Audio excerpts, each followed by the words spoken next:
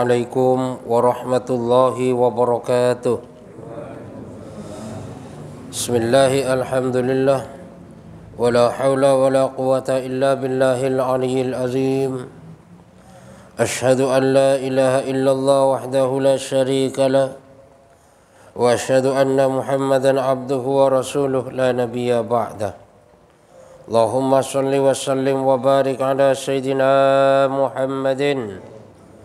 وعلى آله وصحبه أجمعين أما بعد Yang kami hormati para ulama, para ustadz, hadirin hadirat, bapak-bapak, ibu-ibu yang dimuliakan Allah Subhanahu wa taala. Alhamdulillah Allah Subhanahu wa taala masih memberikan kesempatan kepada kita, masih memberikan kekuatan kepada kita, masih memberikan kemudahan kepada kita sehingga kita masih bisa melaksanakan sholat maghrib secara berjamaah. Kita lanjutkan dengan majelis taklim. Ini semata-mata karena hidayah dan kekuatan daripada Allah Subhanahu wa taala. Maka mudah-mudahan seluruh ibadah yang kita lakukan diterima oleh Allah Subhanahu wa taala menjadi sebab dosa kita diampunin oleh Allah, menjadi sebab selamat daripada api neraka dan masuk surga tanpa dihisap oleh Allah Subhanahu wa taala. Dalam kehidupan kita ini ibarat seorang bapak yang mempunyai tiga anak. Di mana dari tiga anak ini ada dua anak yang paling disayang dan paling dicinta. Bahkan rela korban untuk dua anak ini. Ke mana saja dua anak ini selalu diajak. Tapi untuk satu anak ini sering kali disia-siakan oleh bapak tadi. Bahkan kadang-kadang gak diurusin. Ke mana-mana hampir gak pernah dibawa. Tapi yang dua anak ini sangat dimanja. Dan satu anak yang gak diurusin oleh bapaknya tadi, yang dicuekin oleh bapaknya tadi, pada dasarnya itulah anak yang paling setia. Itulah anak yang paling baik. Itulah anak yang soleh. Itulah anak yang siap menemanin bapaknya dalam keadaan suka maupun duka. Tapi sayang bapaknya menyia-nyiakan anak yang baik tadi. Itulah ibarat kehidupan kita. Ibarat bapak yang punya tiga anak tadi. Anak yang pertama namanya Harben. Anak yang kedua namanya Astri. Anak yang ketiga namanya Amsol. Jadi Amsol ini sangat disia-siakan. Amsol ini jarang diurus. Bahkan Amsol ini diajak ngobrol pun juga jarang. Ke mana saja yang selalu diperhatikan Harben dan Astri. Padahal Astri ini dan Harben ini termasuk nggak setia-setia amat sama bapaknya atau bahkan sering meninggalkan bapaknya atau bahkan berani sama bapaknya. Sedangkan Amsol ini anak yang paling setia ke mana saja bapaknya pergi maunya Amsol ini ikut. Dan suatu ketika si bapak tadi meninggal dunia. Setelah dibawa ke kubur, maka ketika anaknya ini ikut, Harben ikut, Astri ikut, Amsol juga ikut. Setelah bapaknya dikuburin, udah diuruk dengan tanah, maka Harben dan Astri ini pulang. Sedangkan Amsol nggak mau pulang dia. Kalau bahasa kita, saya nggak mau pulang. Pokoknya saya mau ikut bapak terus. Sampai bapak masuk surga atau neraka. Pokoknya saya mau ikut bapak terus. Dipaksa pulang gak mau ini pulang si Amsol. Padahal Amsol ini waktu bapaknya hidup jarang diurusin. Jarang diperhatikan. Tapi Astri dan Harmon walaupun diperhatikan terus oleh bapaknya pulangnya cepetan dari kuburan. Inilah ibarat kehidupan kita. Artinya apa? Harpen tadi pak, itu ibarat harta benda. Di mana harta benda yang selalu kita cari-cari, satu kita kejar-kejar. Bahkan nggak tahu siang malam banjir pun kita tetap kejar. Bahkan sampai ke mana saja harta benda kita kejar. Padahal kadang-kadang nggak dapat. Yang kedua asli anak istri. Anak istri pun juga sangat kita bela. Bahkan kita jadi harta benda untuk anak istri. Padahal kadang-kadang anak istri juga nggak perhatian juga sama bapaknya. Dan yang ketiga adalah amsol. Amsol ini adalah amal soleh. Di mana amal soleh ini sering kali tidak diperhatikan. Gara-gara harta benda banyak orang tidak amal soleh. Gara-gara anak istri banyak juga orang yang meninggalkan amal soleh. Amal soleh sering kali disia-siakan atau bahkan kadang-kadang tidak diurus sama sekali. Padahal apabila kita sudah meninggal dunia, harta benda ikut orang lain. Bahkan bisa jadi rebutan.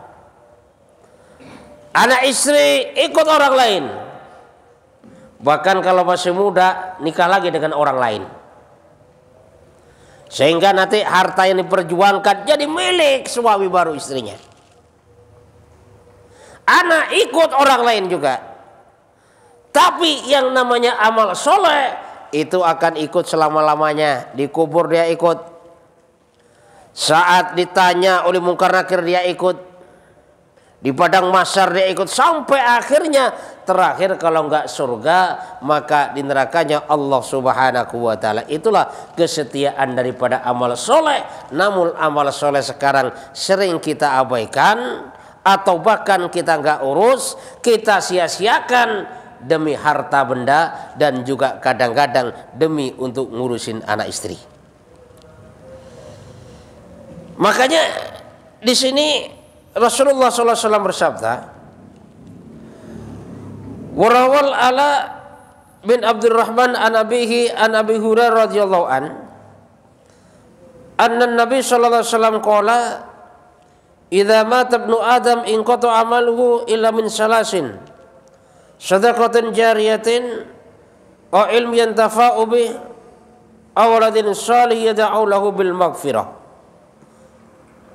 Di mana Ala bin Abdurrahman dari ayahnya meriwayatkan yang bersumber daripada Abu Hurairah radhiyallahu an bahwasanya apabila seseorang meninggal dunia anak Adam meninggal dunia ingkoto amalu semua amalnya terputus ibadahnya terputus sholatnya terputus puasanya terputus baca Qur'annya terputus Pendek kata semua amalan yang dilakukan ini sudah terputus.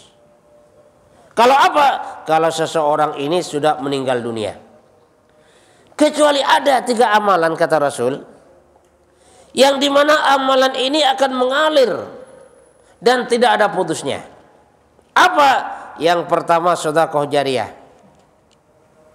Sodakoh jariah ini adalah kita sodakoh, kita berinfak yang di mana digunakan untuk fasilitas umum.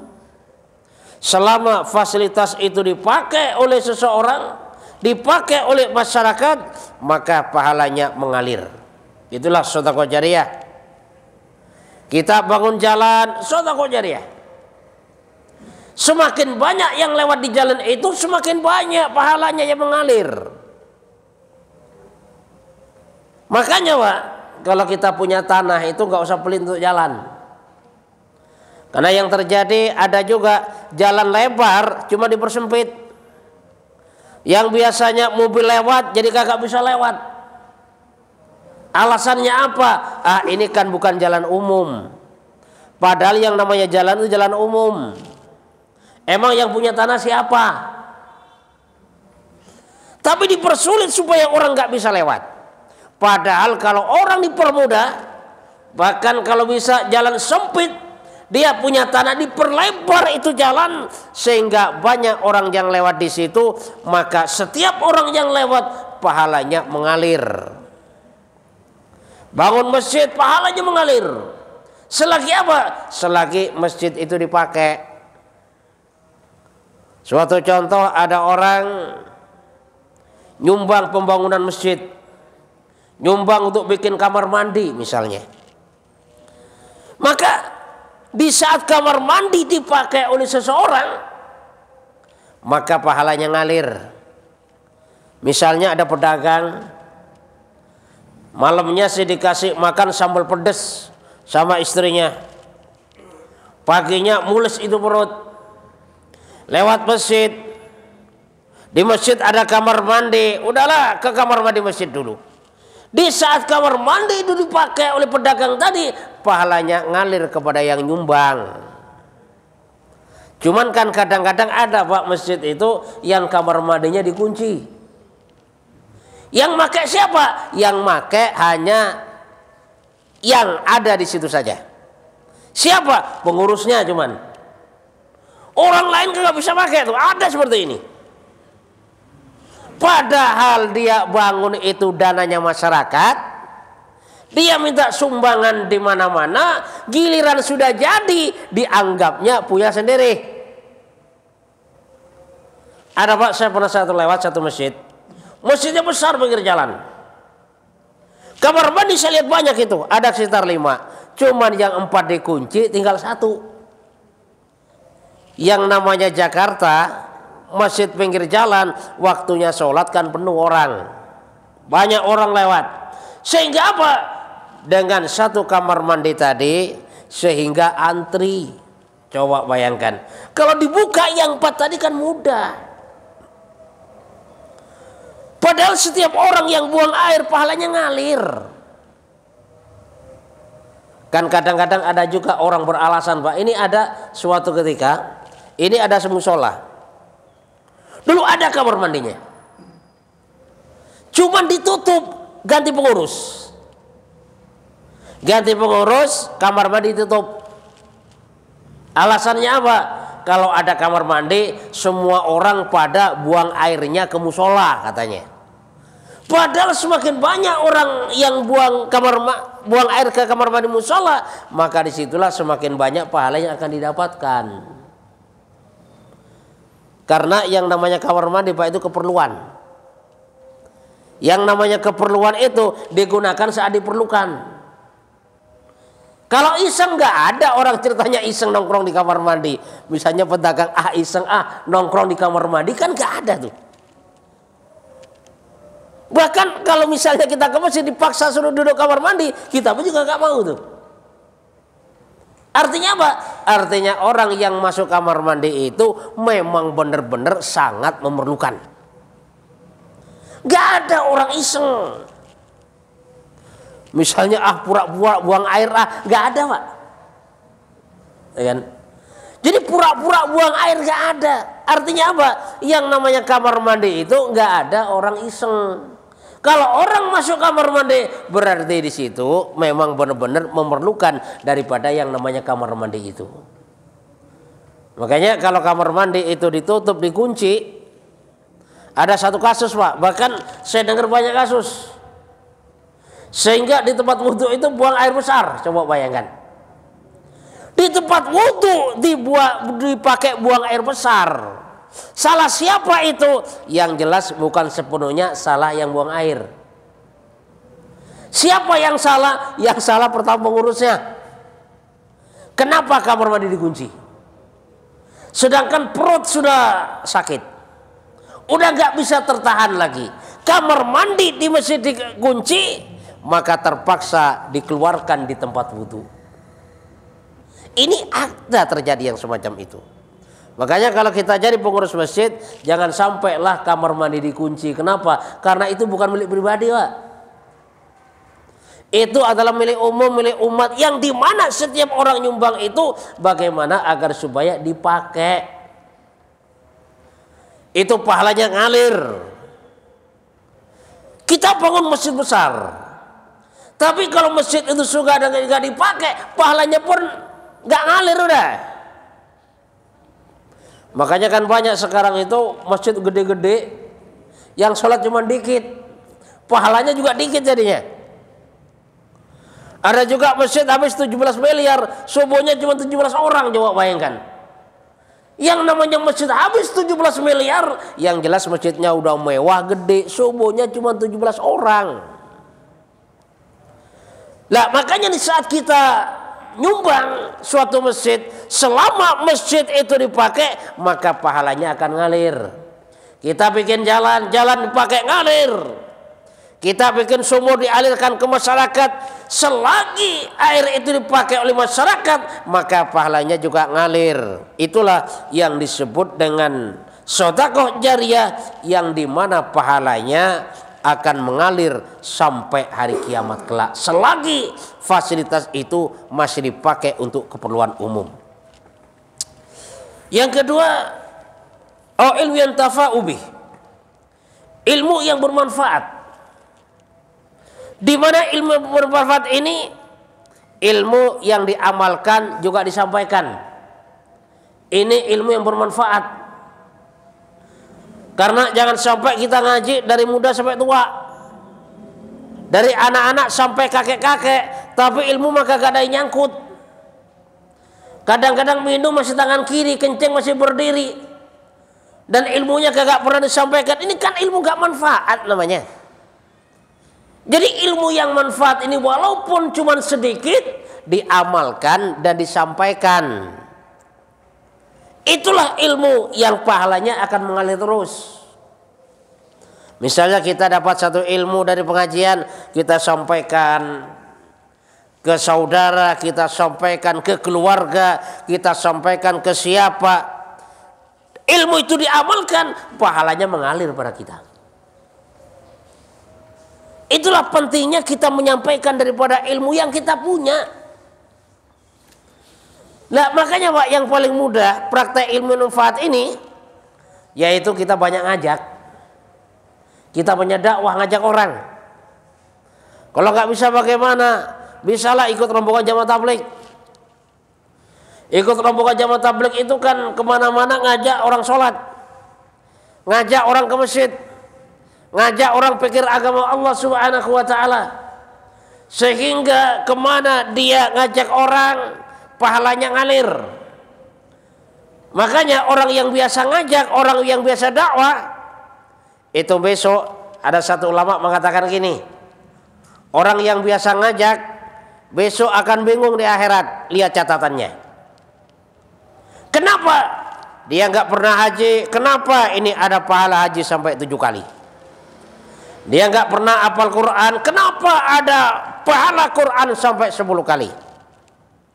Dia nggak bangun masjid. Kenapa ada pahala bangun masjid? Yang jelas orang ini bingung.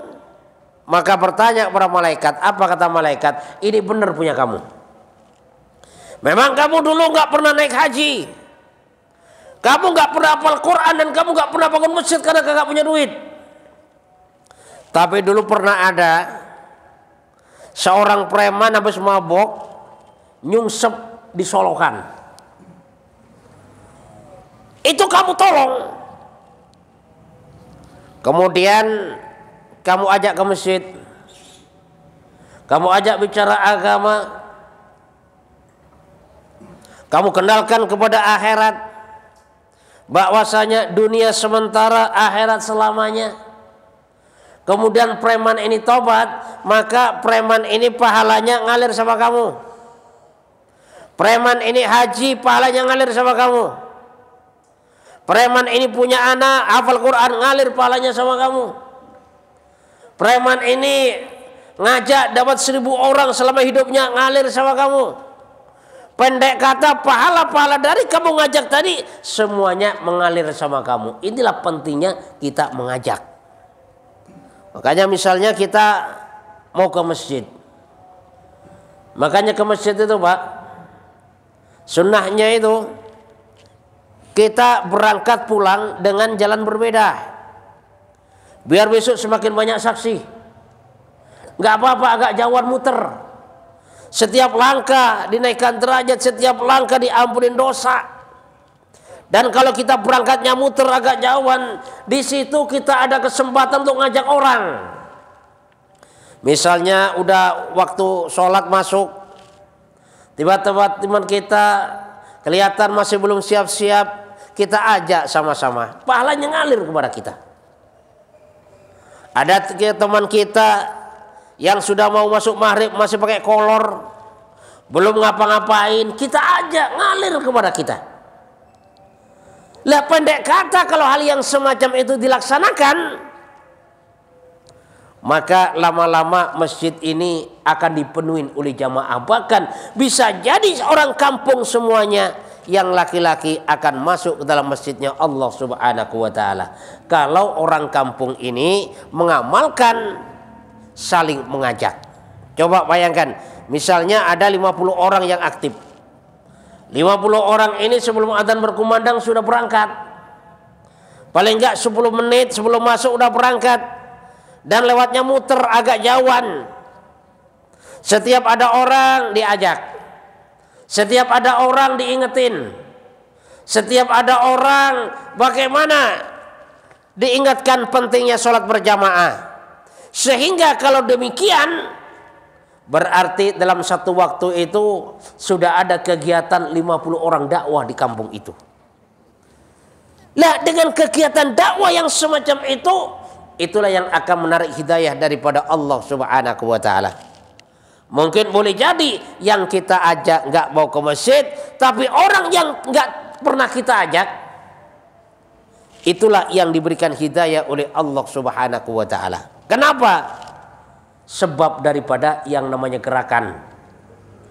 Makanya yang namanya gerakan dakwah Pak, kita nggak usah lihat hasil. Kenapa? Karena kalau lihat hasil pasti kecewa. Jadi gerakan dakwah jangan lihat hasil. Kalau lihat hasil pasti kecewa. Lalu siapa yang kita lihat? Yang kita lihat Allah. Ini adalah perintah Allah ngajak. Ya contohnya Nabi Nuh alaihissalam.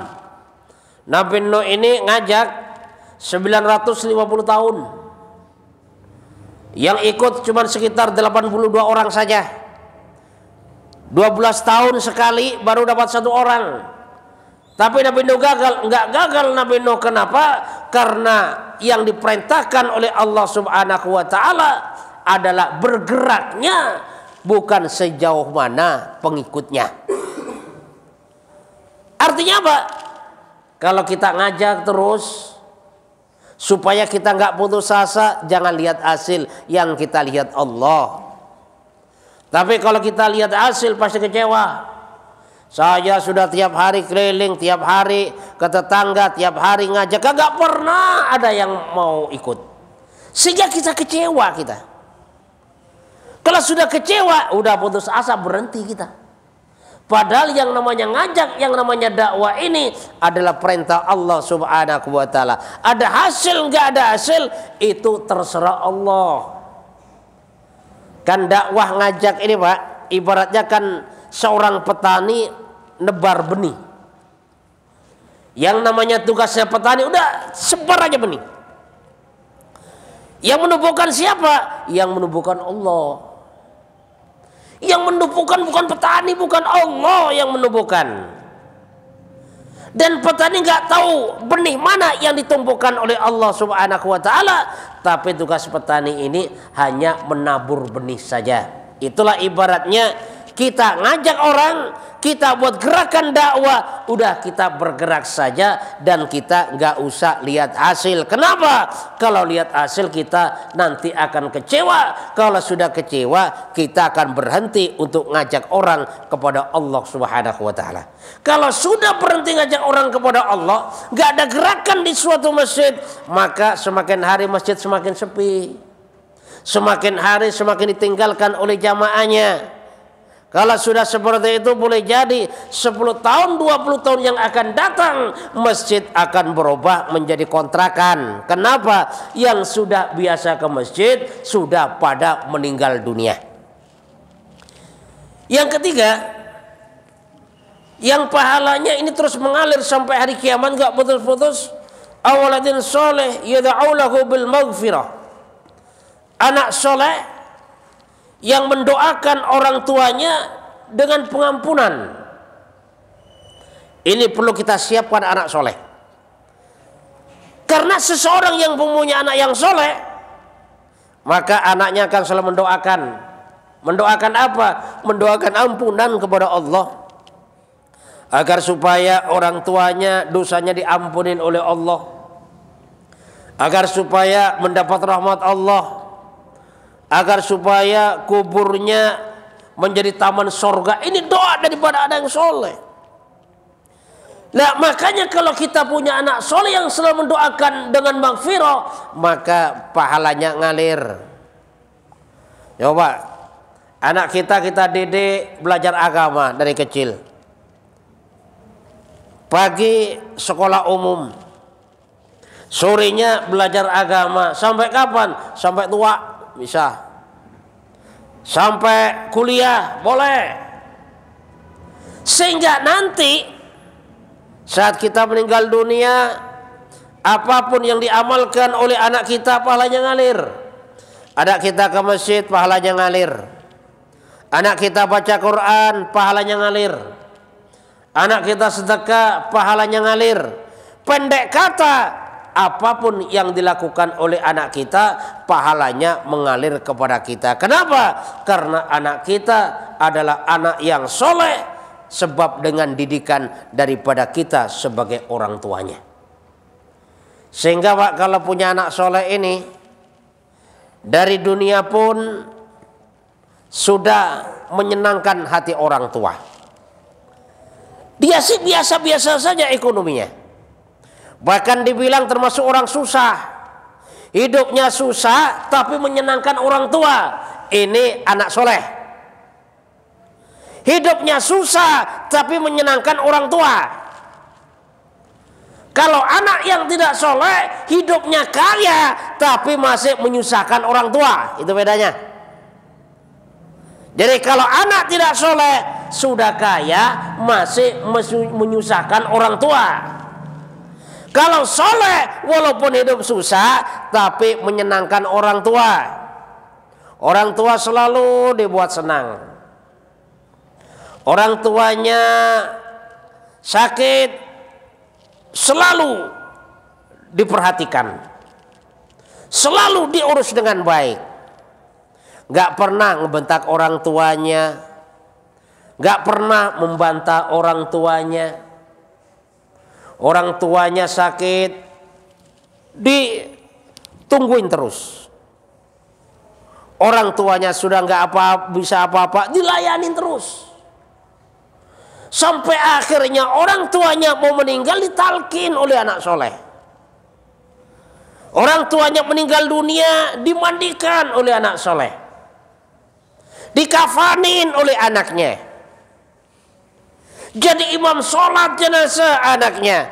Bahkan yang menidurkan di liang lahat terakhir itu pun juga anaknya.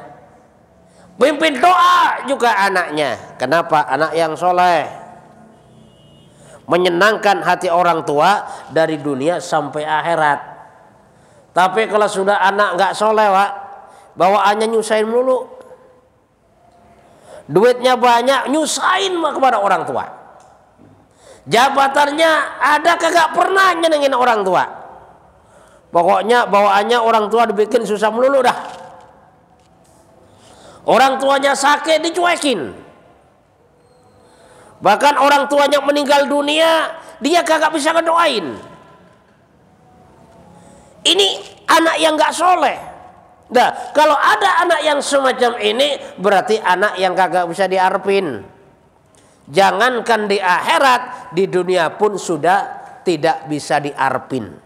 Nah, makanya kembali lagi doa anak yang soleh yang mendoakan kedua orang tuanya dengan maghfirah ini termasuk salah satu pahala yang akan mengalir sampai hari kiamat kelak. Makanya perlunya kita didik bagaimana anak soleh. Bagaimana anak kita kenalkan kepada agama. Karena kewajiban orang tua di antaranya adalah yu'allimul kitab. Jadi mengajarkan kepadanya kitab. Kitab apa Quran. Mengajarkan iman kepada Allah. Mengajarkan syariat mengajarkan ibadah, membentuk karakternya menjadi karakter yang baik yang kuat. Bagaimana imannya juga kuat, itu pada dasarnya adalah kewajiban orang tua terhadap anaknya. Sehingga kalau ada orang tua yang semacam itu, maka suatu saat nanti yang enak juga orang tua tadi. Kenapa? Karena mendidik anaknya dengan agama, mendidik anaknya dengan kebaikan, yang enak orang tuanya juga. Tapi di saat orang tuanya nggak didik agama kepada anaknya, maka yang merasakan penderitaan juga orang tuanya juga. Apalagi sekarang Pak, anak ini ahlaknya udah semakin jauh daripada tuntunan sebenarnya. Karena di sekolah pun guru kagak berani ngedidik. Beraninya apa? Cuma ngajar.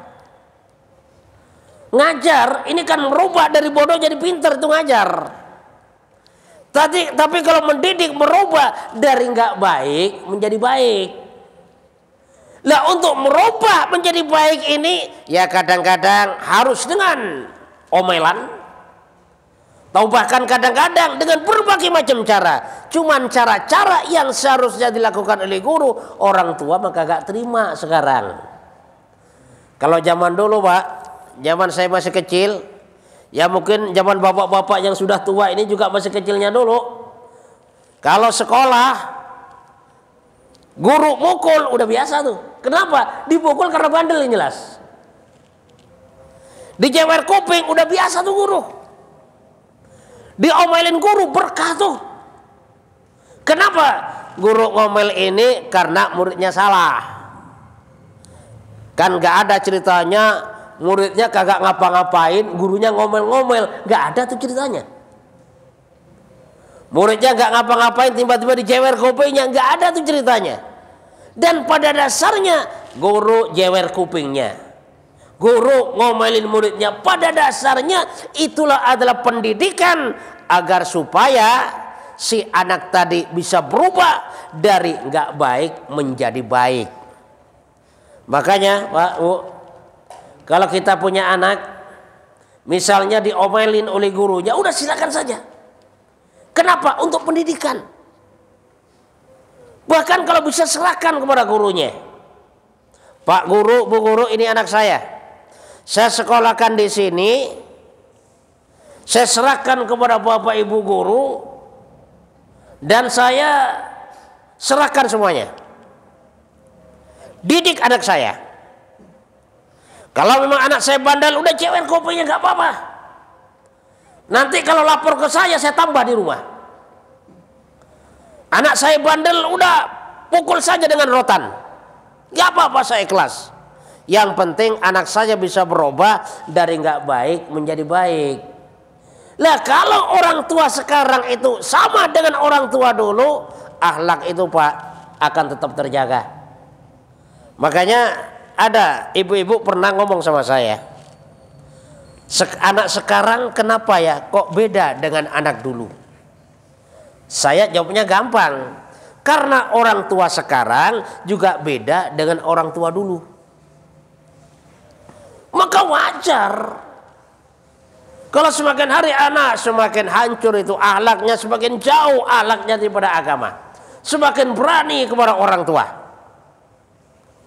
Kalau zaman dulu sama orang tua takut, sama guru ngaji takut, sama guru sekolah takut. Takutnya itu karena hormat, takzim.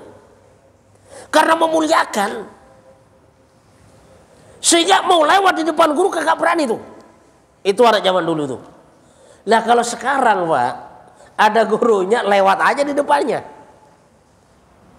Bahkan kadang-kadang tempatnya guru udah didudukin aja. Sehingga adab sudah jauh. Nah kenapa adab dan akhlak anak muda sekarang jauh daripada tuntunan yang semestinya? Yang jelas ini nggak lepas daripada yang namanya keterlibatan orang tua. Orang tua ini kunci pokok. Di saat orang tua nyerahin kepada gurunya, gurunya bebas. Anak ini bandel saya jewer kupingnya. Anak ini bandel saya omelin nanti. Tapi jewer kupingnya omelan seorang guru. Pada dasarnya itu adalah untuk mendidik, merubah dari nggak baik menjadi baik. Sehingga nanti akhlak akan terbentuk. Dia sudah lulus bertahun-tahun ketemu gurunya, tetap dia cium tangan. Apa kabar Pak? Apa kabar Bu? Jadi akhlak masih terjaga. Karena ada juga Pak, lulus baru dua tahun, ketemu gurunya di angkot cuek tuh, kagak nyapa. Ketemu gurunya, udah pura-pura kagak kenal. Ada yang semacam itu. Kenapa? Karena didikan tadi. Terutama didikan daripada lingkungan keluarganya yang tidak mengedepankan bagaimana mendidik dengan cara-cara akhlak yang telah dicontohkan oleh Rasulullah Sallallahu Alaihi Wasallam. Mudah-mudahan Allah Subhanahu Wa Taala berikan kepahaman kepada kita. Semakin hari semakin taat kepada Allah Subhanahu Wa Taala. Apa yang kita bicarakan, apa yang kita dengarkan, sama-sama kita niat mengamalkan, menyampaikan dalam kehidupan kita. Subhanakallahumma bihamdika, asyhadu an la ilaha illa anta astaghfiruka wa atubu ilaik. Assalamualaikum warahmatullahi wabarakatuh.